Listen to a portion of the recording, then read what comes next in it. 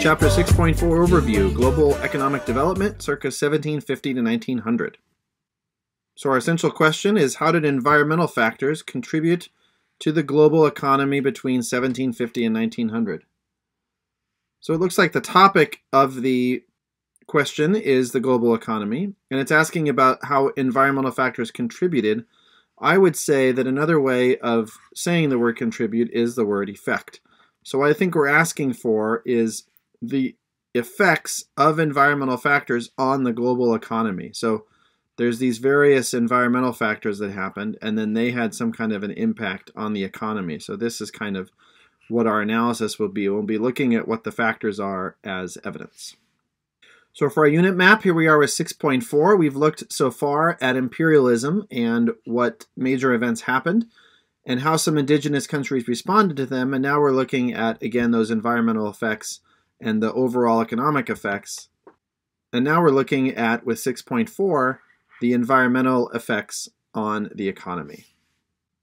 So we have a pattern of economic activity affecting the environment. More recently than our topic here, we have deforestation in the Amazon as trees are cut down to clear farmland and also in many cases for fuel.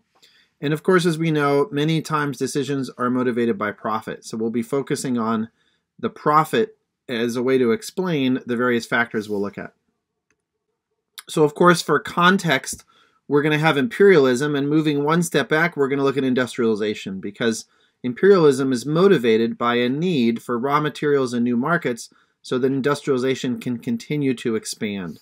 And we know it started in, in Great Britain and spread to other countries, and that in Africa and Asia, industrialized nations took over colonies by force, hoping to obtain, again, those natural resources and markets and that this was based on an extension of the idea of mercantilism, which meant that the colony existed for the profit of the colonizing country. And since indigenous people were not given the opportunity to make their own decisions, they were controlled by imperialist power. So, this control, again, will explain a lot of those decisions in terms of where the profit is coming from. Let's start with something that was covered in the framework in 5.5 and is covered in your book again here the importance of technology in making a lot of these developments possible. So, railroads make it easier to transport goods from the interior of colonies to ports. So, this map here shows railroads in Africa, and this one railroads in India. And we can see that much of the interior of Africa, there's some railroad lines here, for instance, and they can get goods to these port cities along the way. And what that does is allow Europeans to transport what they're looking for. If, for instance, in Central Africa, rubber was a major resource they were looking for. Cecil Rhodes was a famous industrialist who had a dream, as you can see in this cartoon here, of using the telegraph, which he's holding, and also railroads to span the continent. And while there were some benefits to the indigenous people in terms of their economic potential, it's important to remember that these things were built for the benefit of the imperializing country. Steamships were used in river systems uh, like the Congo and Ganges, to serve the same purpose as railroads to transport goods. And the telegraph facilitates communication, which makes business and political decisions more efficient. So, the main type of environmental factor is related to agriculture, specifically the focus on what we call cash crops. And cash crops are crops grown for export to colonizers rather than for the locals. So, before imperialism, if you take a plot of land that a farmer in Africa or Asia might have, that would be split up into many different sections. Just for simplicity's sake, we'll just make these. And there would be different crops, and there might be some wheat grown here, there might be some fruit grown here, perhaps other types of grains, perhaps vegetables. And this would be what we call subsistence farming, and this is to support the local. So the purpose of this type of farming is to support, let's say, the farmer's family and provide the food that they need. In cash crop agriculture, the colonizer comes along and says, You're going to grow one crop only. And that crop is going to be exported, and you're going to get some money for that. And hopefully, you'll be able to buy all the stuff that you needed originally. So, we have several examples of cash crops. And the first one is guano, which is bird droppings. And in Peru and Chile, there was incredibly large stores of guano, and this is an excellent fertilizer for crops used around the world. And so there was a lot of money to be made in exporting guano. We also have cotton production in places like Egypt and India. This graph over here shows where the cotton for the British textile factories is coming from. And much of it, and this is more of a US history thing, came from the American South.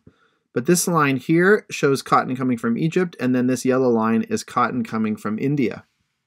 And that provides the raw material for the textile productions and giving European factories a chance to make money off of a cheap resource.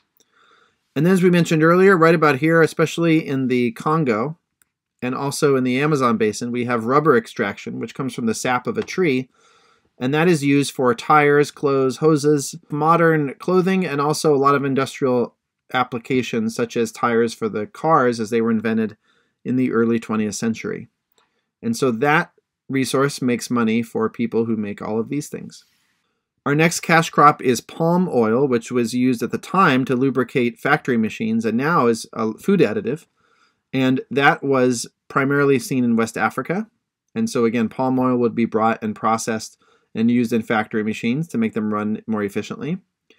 And minerals like diamonds were mined in places like Africa. The De Beers Mining Company in 1891 controlled 90% of diamond production. Here's a diamond mine here in South Africa. And again, those diamonds are extracted at lower cost for Europeans, and the people who work there are forced to produce them and provide them to Europeans. So it's sort of a form of cash crop, although it's not necessarily agriculture.